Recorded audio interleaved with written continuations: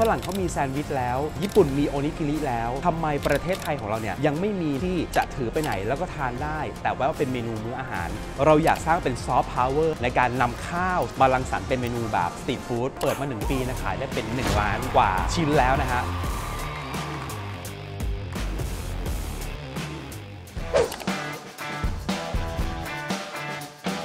ฝรั่งเขามีแซนด์วิชแล้ว ญี่ปุ่นมีโอนิกิริแล้ว ก็เลยนึกถึงเมนูข้าวขึ้นมา ซึ่งเป็นเอกลักษณ์แล้วก็อะไรที่คนไทยทานอยู่แล้ว จริงๆแล้วเราจะทำเป็นข้าวกล่องก็เหมือนกับที่อื่น เราก็เลยนำข้าวลองมาขึ้นรูปดูซิ จะขึ้นรูปในลักษณะไหนได้บ้าง ถ้าขึ้นรูปเป็นลักษณะของสามเหลี่ยม ก็จะคล้ายกับของญี่ปุ่นเขาขึ้นรูปในลักษณะของสี่เหลี่ยม ก็จะคล้ายพายในลักษณะของทางฝรั่งเศสนำข้าวลองมาขึ้นรูปดูซิ นั่งมองเม็ดข้าว เฮ้ย เม็ดข้าวก็มีรูปทรงที่มันแตกต่างจากชาวบ้านนี่หว่า เราก็เลยใช้เม็ดข้าวเนี่ยแหละมาขึ้นเป็นรูปของทรงข้าวแทงข้าวสวยเนี่ยเขาก็เป็นข้าวที่ไม่ได้มียางหรือว่าติดกับแต่ละเม็ดใช้เวลาถึงปีครึ่งด้วยกัน ในการที่จะประสานข้าวแต่ละเม็ดให้เขาติดกัน และขึ้นรูปเป็นทรงข้าว เทคนิคเราก็จะมีสารตัวหนึ่งสามารถทานได้ แล้วก็มีส่วนผสมต่างๆ ที่จะทำให้ตัวเขาเชื่อมกันจดสิทธิบัตรไว้เรียบร้อยแล้วนะครับข้าวที่เราใช้เป็นข้าวสวยทางภาคอีสาน รูปทรงเม็ดข้าวเรียวสวย มีความหอมและนุ่ม พอไปผ่านกระบวนการหรือกรรมวิธีต่างๆ ยังให้ลักษณะของความเป็นเม็ดข้าวอยู่ เมนูข้าวเหนียวเราก็มี แต่ว่าเราอยากสร้างความแตกต่าง เราอยากสร้างเป็นซอฟต์พาวเวอร์ให้กับเกษตรกรชาวไทยของเรา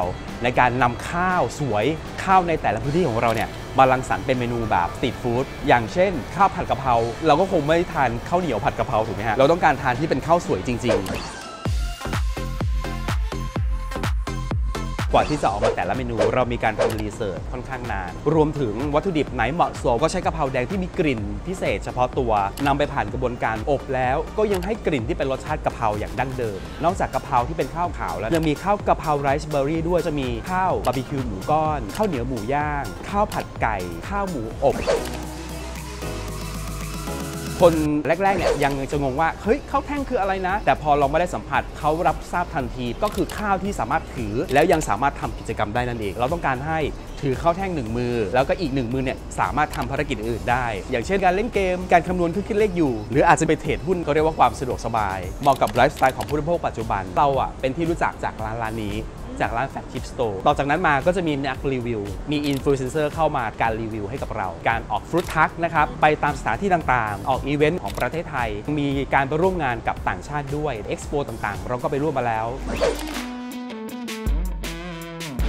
เราจะแบ่งลูกกลุ่มลูกค้าออกเป็น 4 กลุ่ม กลุ่มเด็ก กลุ่มวัยรุ่น กลุ่มวัยทำงาน กลุ่มวัยเกษียณอายุ และก็กลุ่มต่างชาติ ราคาเริ่มต้นที่ 35 บาท มีเฉพาะเป็นเมนูไฮไลท์ข้าวเหนียวมะม่วงและข้าวเหนียวทุเรียนครับที่ราคา 40 บาทครับน้องเขามีอายุในการเก็บค่อนข้างยาว ถ้าคุณมาซื้อหน้าร้านแล้วทานไม่หมด สามารถนำกลับไปนะครับและแช่ตู้เย็น และนำออกมาอุ่นเวฟได้อีกนะครับยังอยู่ได้อีก 3-4 วัน แต่ว่าถ้าต้องการซื้อไปเก็บในอายุยาวๆ ซื้อกลับไปแล้วก็แช่ freeze สามารถอยู่ได้เป็นเดือนเลย ตอนนี้นะครับเรามีอยู่ที่ตู้ vending ตามคอนโดต่างๆ หรือตามมหาวิทยาลัยต่างๆ ให้กับกลุ่มลูกค้าที่ต้องการกดและรับประทานได้ทันทีสำหรับสาขาสยามวันนะครับ เป็น flagship store นะครับ นี้เรายังมีในเรื่องของการตั้งที่บนสถานีรถไฟฟ้าด้วย มีการเสิร์ฟข้าวแท่งให้กับผู้โดยสารบนเครื่องบิน มีเดลิเวอรี่ครับ มี box set ลงที่ท็อปส์ซูเปอร์มาร์เก็ตทั่วประเทศไทยเลยนะครับ ยอดขายของเราเปิดมา 1 ปีนะครับ เราขายได้เป็น 1 ล้านกว่าชิ้นแล้วนะฮะ